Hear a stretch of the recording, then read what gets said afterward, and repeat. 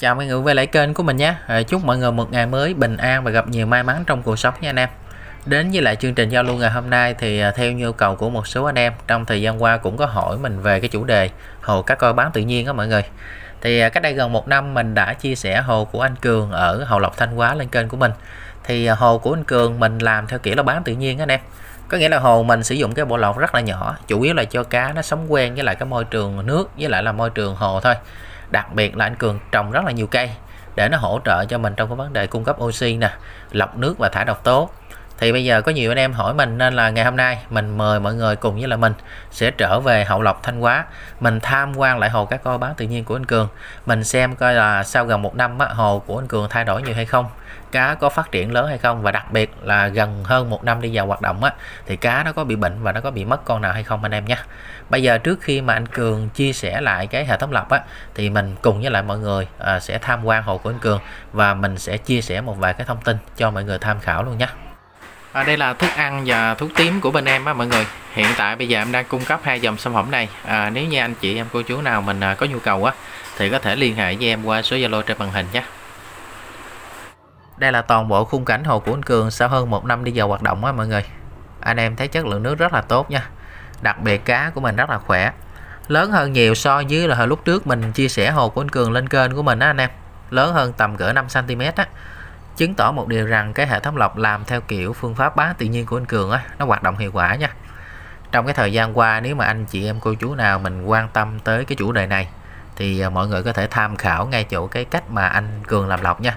Lọc nhỏ lắm mọi người chủ yếu là anh Cường trồng thêm cây để nó hỗ trợ cho mình thải độc tố nước thôi. Có nhiều anh em hỏi mình là vì sao gọi là tự nhiên mà vì sao gọi là bán tự nhiên? Thì à, ngày hôm nay thông qua video này cũng như thông qua hồ của anh Cường á, thì mình cũng giải thích theo cái sự hiểu biết cơ bản của mình thôi nha.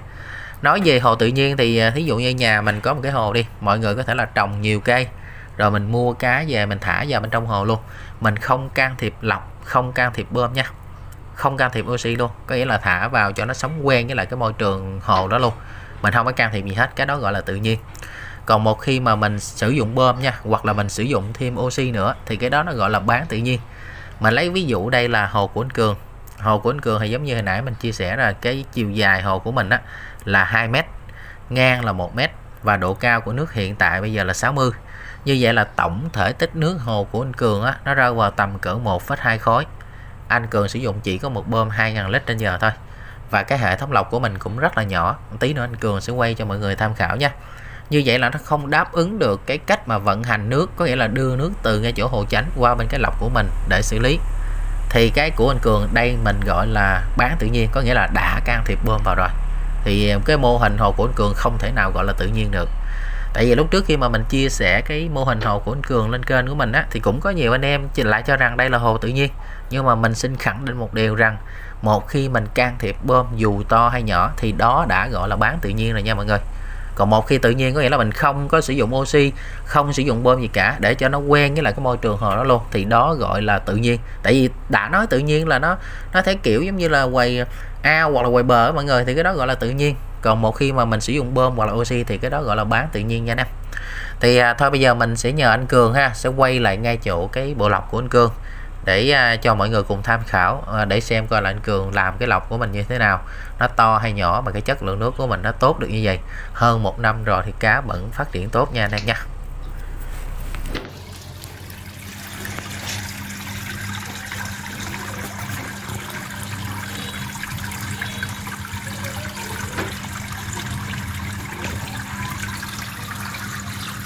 Hít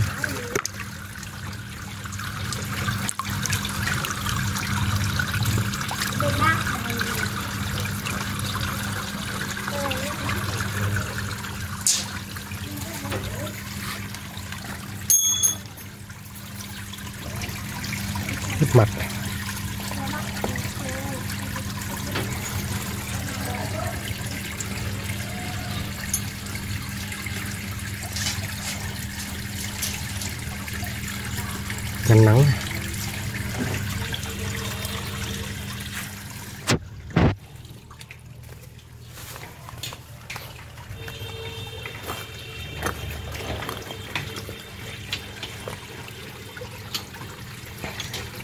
suối lọc phun cây rồi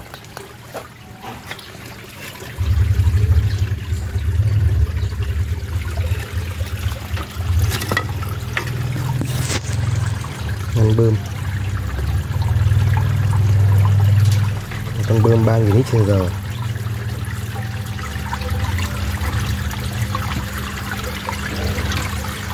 Lên cái lưu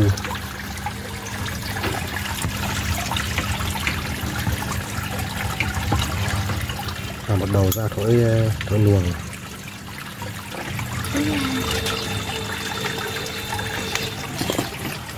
Này còn cây.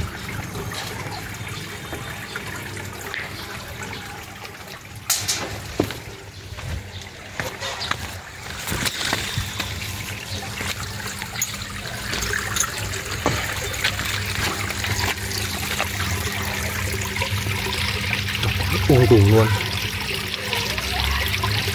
cây dứa này. Cây hẹ này. Trầu bà. Và dọc mùng. Miền Nam gọi bạc hà ấy, miền Bắc gọi dọc mùng. Cao qua đầu người.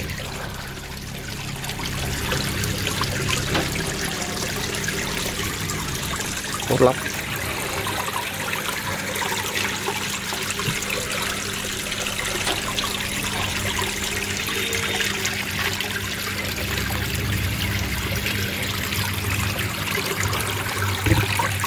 Mua nước lên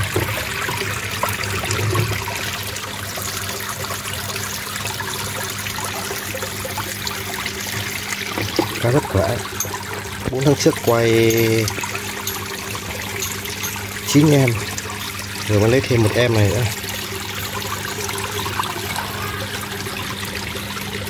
Đấy, Rồi lấy thêm một em này.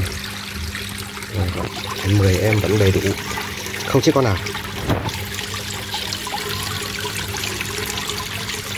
Nước thì rất ok luôn. Nước cho vắt. Gần như là không thấy nước đi làm.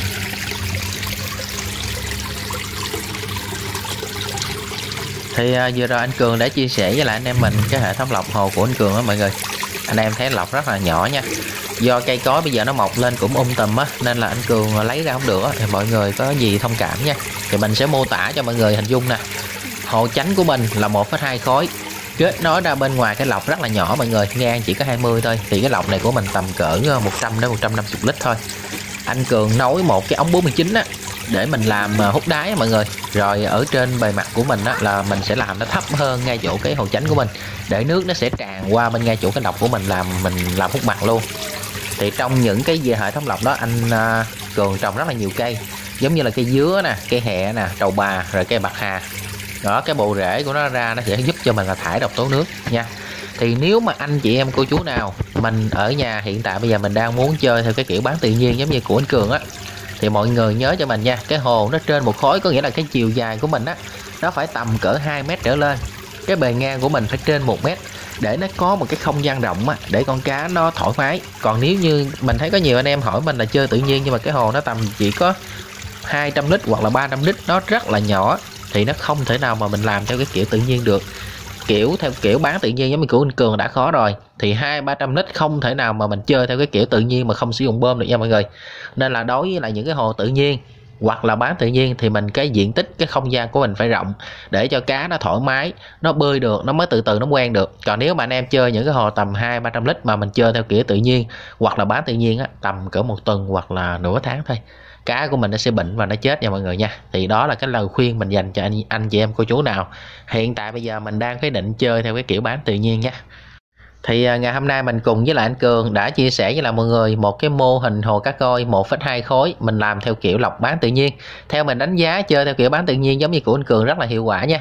Nhưng mọi người lưu ý dùm cho mình bơm nhỏ bên cạnh đó là mình phải trồng nhiều cây để nó giúp cho mình trong cái vấn đề thải độc tố nha anh em thì nếu như anh chị em cô chú nào đang cái định làm hồ bán tự nhiên mình chưa biết làm cái cách nào lọc ra sao trồng những loại cây gì thì mọi người có thể tham khảo cái mô hình hồ của anh Cường nha à, thôi chắc lẽ là mình cũng xin phép kết thúc video tại đây luôn nha anh em.